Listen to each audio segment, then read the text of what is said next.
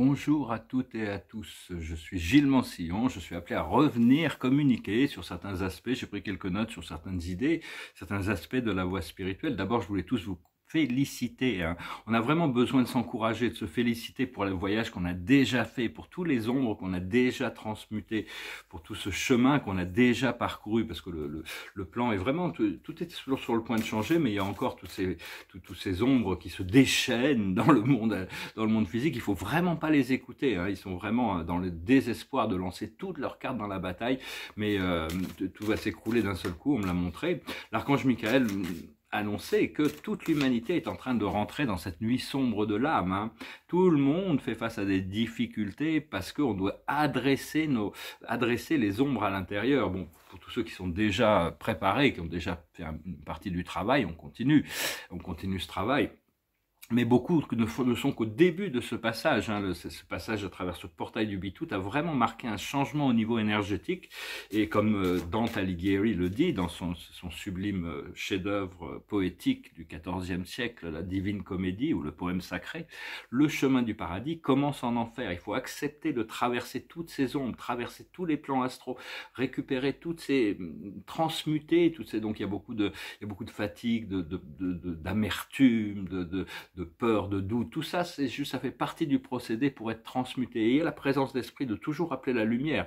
Euh, au fur et à mesure que je marche à travers la vallée des ombres de la mort, je ne craindrai aucune, aucune distraction parce que la présence du Créateur est avec moi. Hein. Ça, bon, ça c'est dans la Bible, mais disons que Dante avait Virgile pour le guider hein, à travers tous ces ombres, et donc on, doit passer par, cette, par ce moment, traverser, accepter de traverser tout, le, tout ce champ d'ombre, de, de, parce qu'on est à la troisième dimension, pour atteindre la cinquième dimension, on doit traverser la quatrième, et la quatrième, ça, représente, euh, il y a sept niveaux de, de, de réalité à l'intérieur de cette dimension, et chaque niveau, euh, il y a des leçons à apprendre, hein, c'est un petit peu, il y a des leçons à apprendre en enfer, des leçons à apprendre au purgatoire, des leçons à apprendre au paradis, pour trouver la liberté au-dessus des choses le nirvana d'existence. Ah bon, je fais que partager, euh, c'est un concept, une vision, une idée, hein, mais qui correspond quand même à quelque chose qui, qui peut être, euh, prenez que ce qui, ce qui ce qui résonne avec vous, hein, de toute manière, mais euh, comme Dante disait, le, oui, le chemin du paradis commence en enfer. Il faut accepter de faire face à toutes ces ombres, et il y a vraiment une transformation du pouvoir de l'amour la, du, du pouvoir à la compassion et au service de l'humanité. Donc on, doit vraiment, euh, on doit vraiment accepter que chaque niveau, on a des challenges. On, doit lâcher prise de certaines personnes, on doit lâcher prise de certaines attitudes, on doit lâcher prise de certains comportements. On, doit, il y a tout un grand changement au niveau de, qui, est en train de se produire hein, au fur et à mesure que, que l'on traverse toutes ces, dimensions. Euh, et, il y a vraiment des récompenses énormes. la, la, plus grande récompense sera la liberté, hein, la liberté pour notre âme. Et donc, euh, parce que oui, le, flash solaire va arriver, mais on, a déjà, on a déjà la clé. Nous sommes la clé qui ouvre la porte vers ces, dimensions. Hein, à l'intérieur de nous, il y, a, ce portail à l'intérieur de nous, qui est le portail de l'unité, de la paix, de la joie, qui, est accessible à tout moment. Parce que même quand on traverse tout ça, on, nous donne des moments où on, nous, fait déjà voir, on, peut déjà avoir des aperçus de la liberté qui est devant nous. Et donc nous sommes la clé, nous sommes la clé, la clé dorée qui ouvre la porte. Hein. Il n'y a pas besoin d'attendre les flashs solaires qui vont arriver, mais euh, et, euh, parce que notre moi supérieur adore l'adversité, il adore les problèmes, il adore les challenges, parce qu'il apprend tellement, ça lui permet, ça nous permet, ça nous permet de grandir et ça lui permet d'évoluer là-haut. Hein. Donc il ne faut pas s'en vouloir à nous-mêmes, c'est nous-mêmes qui créons tous ces problèmes, toutes ces choses et on a besoin de les transmuter. Hein. On a besoin de transmuter. Ah, je suis obligé de surveiller les moustiques. Une petite histoire, une petite anecdote. Les moustiques sont tellement agressifs et tellement, ils sont tellement douloureux que je, les tue sans sommation. Je m'excuse, je l'envoie au paradis des moustiques. Et puis il y avait, il y avait je, donne un coup comme ça et puis je m'aperçois, une petite anecdote, que c'était pas un moustique, c'était, c'était, c'était une fourmi. Alors, dans ma tête, il y a eu ce petit discours, c'est la fourmi qui me disait, mais ça va pas, qu'est-ce que tu fais, pourquoi tu me frappes? Et tout ça. Je dis, excuse-moi, je t'ai pris pour un moustique. Elle m'a dit, non, mais je suis pas un moustique, tu vois bien. Je dis, qu'est-ce que tu fais là? Euh, Je dis, moi je travaille, je suis une fourmi, je travaille, hein, mais mais t'as rien à faire là. Ah, je fais partie d'un groupe spécial d'exploration pour trouver des nouvelles ressources ici. bon, je, vais te mettre dehors, hein, tu retrouveras ton chemin. Ok, puis on s'est séparés en bons termes. Mais enfin, bon, les, fourmis, hein, je veux pas de mal aux insectes. Enfin, les, les moustiques, là, sont extrêmement agressifs. Et, euh, et donc, euh, que je voulais, euh, je voulais comprendre aussi que dans, enfin, voilà, le, la carte de la journée, c'est la confiance. Hein. Ayez confiance, confiance en vous, confiance en Dieu, confiance à, vos, à, votre intuition, confiance à la vie en général. Hein. Et parce que tout, tout ce qui se passe, c'est que en réalité, on va être tous ceux qui, tous ces forces sombres doivent choisir de revenir dans la lumière et faire face à leur, à, à leur euh, aux conséquences de leurs actions ou se trouver consumés par la lumière. Donc pour les cœurs sombres, se faire consumer par la lumière, c'est pas du tout la même expérience que pour un être éclairé qui se fait consumer par la lumière et qui, qui est qui est élevé pendant le procédé. Hein. Mais enfin, on, on doit d'abord adresser notre fréquence avant de... de la fréquence, c'est très important d'adresser notre monde intérieur, notre fréquence, avant de, de, des circonstances extérieures. Et à travers ce procédé de, de transmutation, de traversée de ces plans astraux, on, on, on, passe un peu notre vie en revue. C'est comme si tout, il y a toutes sortes de mémoires douloureuses qui reviennent à la... Pour, on doit trouver la paix avec tout ça et, et suivre la guidance. Mais enfin, on nous demande de changer notre... Il y a beaucoup de choses qui vont changer au niveau de notre style de vie, de nos habitudes, notre positionnement par rapport aux choses. Et euh, mais on est obligé de... On a été obligé de passer par là, parce que pour ressentir la douleur et la, toutes ces douleurs, toutes ces choses-là, pour être sensible, avoir de la compassion vis-à-vis -vis de toute l'humanité, pour qu'est-ce que eux... Parce que tout le monde ressent, passe par, des, par la douleur et de l'amertume. La, hein. Mais ça, des fois, je, je, suis, je peux paraître un peu détaché, mais ça ne veut pas dire que je suis froid et indifférent à la souffrance des autres. C'est juste que j'ai confiance que Déjà, je sais que la vie est éternelle et que la séparation n'est que temporaire. C'est la vie qui m'a enseigné ça et qui m'a forcé à ce détachement et, de savoir que j'ai la foi, que chaque personne va pouvoir trouver son chemin et que, que toutes les âmes guident leur propre programme d'évolution. Hein. Donc, euh, euh ça veut dire pas, m'impliquer dans, les luttes intérieures que chacun, euh, parce que la misère a besoin de compagnie. Hein. Quand quelqu'un est misérable, ils veulent que tout le monde soit misérable autour d'eux. Alors qu'en réalité, c'est beaucoup plus important d'adresser notre fréquence, ne pas s'attacher émotionnellement aux, fréquences inférieures pour pouvoir garder la porte ouverte et continuer à envoyer de la lumière, de l'amour pour assister l'âme d'un point de vue supérieur plutôt que de, de commisérer, disons. Et donc, euh, il y a beaucoup de choses aussi dans l'univers qui vont se révéler. On ne connaît pas notre univers. Notre niveau d'ignorance par rapport à l'univers est énorme. Là-haut, ils ont beaucoup d'humour par rapport à ça. Ça les fait beaucoup rigoler de peu de choses que l'on sait à propos de l'univers. Parce que même dans notre système solaire, il y a des planètes invisibles qui, ont, et qui sont élevées complètement dans une fréquence complètement euh, invisible, qui ne sont plus matérielles. Il y a des systèmes solaires qui nous entourent qui sont invisibles. Ils sont élevés.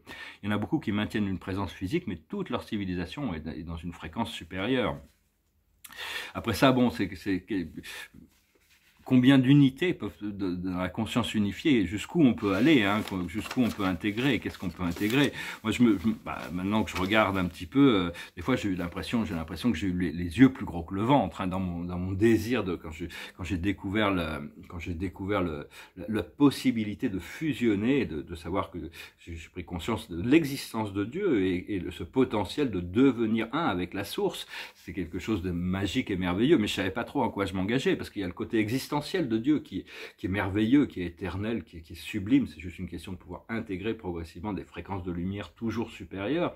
Mais il y a le côté expérientiel de Dieu qui, existe sous les formes de, qui, existe sous la forme de fantômes et de démons, hein, qui sert l'univers. Et même dans, la vie terrestre, je m'aperçois, bon, j'ai pas, pas le choix. Hein, ma, voix a été décidée, je vais devoir procéder pas, pas, pas après pas, selon la voie qui m'a été dessinée. Mais enfin, il y a, beaucoup d'êtres humains. Hein. C'est très difficile d'accepter leur choix et de vivre avec ces choix. Hein. D'arriver à, à, à, à moi j'ai mon choix, ma vie. Mais enfin bon, pour moi c'est un peu spécial. Il faut vraiment plutôt essayer de, couper les liens avec tout ce qui est inférieur pour pouvoir s'élever dans la lumière avant de pouvoir réintégrer l'obscurité dans votre expérience. Sinon on tombe dedans. Hein. Enfin bon, et c'est parce que personnellement, j'ai choisi le, côté existentiel et expérientiel, hein, ce qui est ce qui est très, ce qui est, ce qui moi j'ai pas le courage de Dieu, hein, de toute manière, je reconnais que, Dieu a un courage infini de pouvoir expérimenter, de, de, de vivre toutes ces expériences, de, des plus pures aux plus impures. Hein quand, quand Dieu est dans la perspective du pur, il lutte contre l'impur. Mais quand il est, quand il est dans l'expérience de l'impur, il est lui-même le diable. Hein. Il, il, joue ce jeu. Et, rien, il, Dieu ne peut laisser rien le dépasser. Il est toujours en contrôle des choses, malgré les apparences. Hein. Et, quand, quand, la, quand la conscience a appris les choses, il, un jour, le, tout l'univers le grand univers, tout le temps et l'espace, les, les, les 7000 milliards de planètes évolutives, les 700 000 univers du temps et de l'espace auront atteint le niveau de la lumière et la vie. Il n'y aura plus aucune obscurité. Mais ça, c'est encore dans, le futur éternel, hein, c'est pas encore... Euh, parce que je présente que certaines idées ici. Hein. Des fois, des fois, bon, ça peut paraître un peu, ces choses que je peux dire peuvent paraître assez bizarres. Mais, euh, mais, enfin, bon, moi, ça fait partie de ma réalité. J'essaie de les exprimer euh, simplement et honnêtement les partager. Et donc, on se prépare pour des grands, grands changements. Hein. Bon, J'espère que... Écoutez, écoutez votre cœur, écoutez votre guidance, écoutez votre moi supérieur et, continuez à communiquer. Le discours intérieur est très important. Hein. On doit devenir, euh, devenir conscient de ce discours intérieur et de ne pas se laisser trop influencer par, par des... Pour le moment, si même s'il y a des choses qui remontent, il faut les intégrer, il faut les accepter, il faut les transmuter. Et pour ça, on a toujours la présence d'être de, bienveillants qui peuvent nous assister dans cette transmutation. Hein. Donc, n'hésitez pas à faire appel à vos guides, à votre moi supérieur, à votre créateur.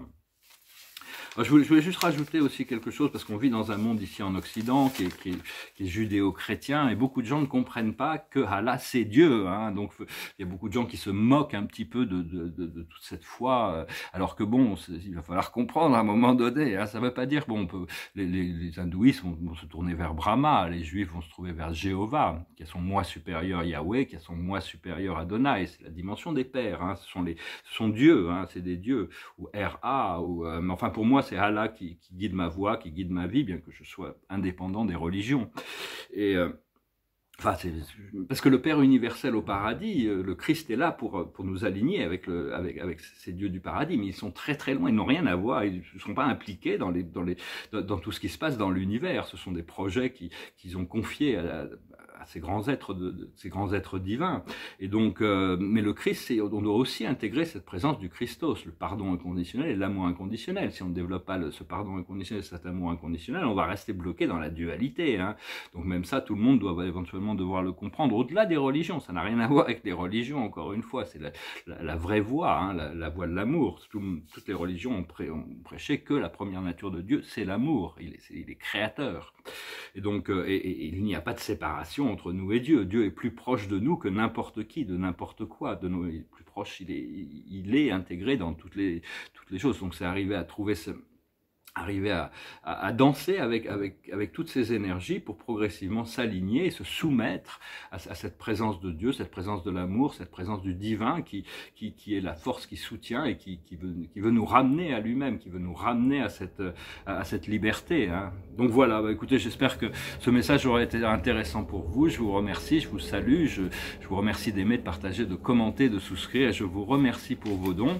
Je vais finir avec une chanson qui m'est un peu par hasard passé par la tête. C'est une vieille chanson qui est plus de la génération de mes parents, d'un groupe qui s'appelait les Platteuses.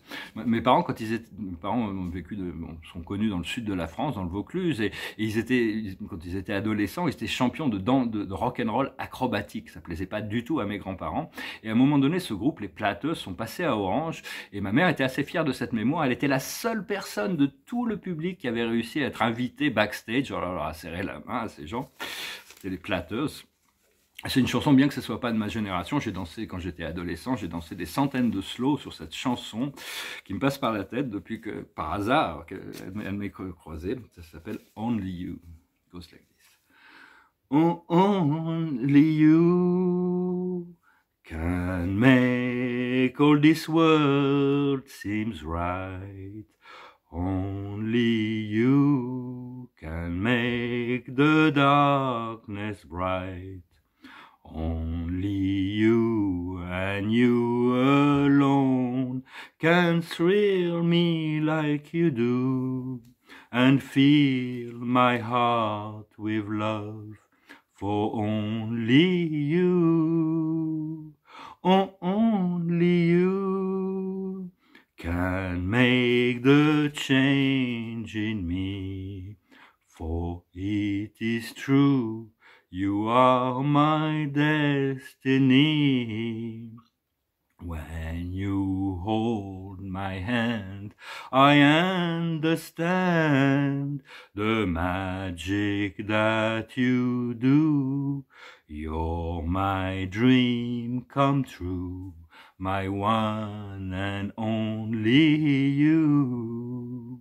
Oh, oh, only you can make all this change in me. For it is true, you are my destiny. When you hold my hand, I understand the magic that you do. You're my dream come true, my one and only you. Bon, c'est la première essai, je ferai mieux dans la vidéo anglaise. Je vais tirer quelques cartes pour finir cette chanson. Très romantique, c'était une période un peu d'insouciance, les années 50, c'était assez... Euh, une chanson de 1955, je crois. Et donc, euh, voilà, la, carte de la journée, c'est l'observateur de la journée, c'est l'écoute. Hein. Soyez à l'écoute de votre intuition, à l'écoute de votre cœur et à l'écoute du miroir de la vie également. La plus haute sagesse, c'est l'amitié. Continuez à cultiver. Soyez, soyez un ami pour vous-même et un ami pour le, pour, pour, pour le monde entier, hein, pour, pour tous les gens. Bon, bien sûr, il y a Aristote qui dit celui qui est un ami de tous est un ami pour personne. Mais je suis pas, je suis pas aristoticien. Moi, je suis pour le. Ça veut pas dire il y a des gens qui sont beaucoup plus proches de nous qu'on doit, on doit d'abord servir. On doit d'abord servir le. Ceux, qui connectent au cœur, mais, mais, mais rester amiable et amical vis-à-vis de tous les êtres, hein, même ceux qui ne le sont pas. Et il y a des nouveaux amis qui vont arriver, hein, beaucoup de nouveaux amis. On est en train de se, on est en train de se réunir, on est en train, on va devenir, on va s'unifier, on va pouvoir euh, recréer un nouveau monde ensemble. Mais en dehors des égrégores qui cherchent à proposer aussi. Hein. Ce qu'il faut, ce qu'il faut comprendre, c'est la clairvoyance. Voir derrière le, voile, voir derrière le voile. Euh, continuez à ouvrir l'œil de votre esprit, continuez à, cultiver le siège de votre conscience, devenir maître de l'esprit mental moustiques qui sont extra. Je crois qu'ils arrivent dans les chemtrails, dans les, les drop là comme ça. Euh, ce qu'il faut faire, c'est le repos. Il faut, il faut se reposer, il faut se relaxer. L'énergie est très calme aujourd'hui, c'est très posé. Hein. Moi, personnellement, euh, c'est très plat, c'est très, donc c'est très bien pour se reposer, se préparer hein, pour, pour, toutes sortes d'activités qui vont arriver. Et l'aboutissant, ça va être les rêves, la réalisation des rêves, les rêves conscients, les rêves éveillés. Hein. parce que bon, on a des rêves dans notre sommeil, des fois qui peuvent être un peu bizarres, mais on doit mettre, qu'on doit cultiver un rêve, une vision, une vision de, d'une vie idéale pour nous-mêmes. Et après, on pourra aller, on pourra, grâce, une fois qu'on sera dans notre fréquence la plus élevée, grâce à la manifestation de, de, de notre plus haute vision, hein, on pourra inviter les autres à, à créer, à, aspirer à avoir leur vision, parce que toute l'humanité est en train de passer par, par une remise en question, là, il n'y a plus le choix, hein, donc tout ça c'est en train de se passer, il va falloir être là pour aider les autres hein, aussi, sans, tomber dans leur drame, hein, on les assistait justement en gardant cette fréquence élevée et euh, en pouvant leur montrer que et de comprendre que bon, comme disait Platon, on peut pas faut éviter de juger les autres parce qu'on ne sait pas par quoi ils sont en train de passer à l'intérieur d'eux-mêmes. Hein. il y a une bataille, une lutte intérieure qui, est constante. Hein. donc euh, il faut jusqu'au moment où on aura traversé tout ça et on va arriver à ce point de sérénité, ce point de, lucidité, ce point de sérénité qui va nous, nous rendre, on va retrouver notre souveraineté à l'intérieur du royaume de Dieu. Je vous salue, je vous remercie pour tout, je vous souhaite une excellente journée. À bientôt. Salut.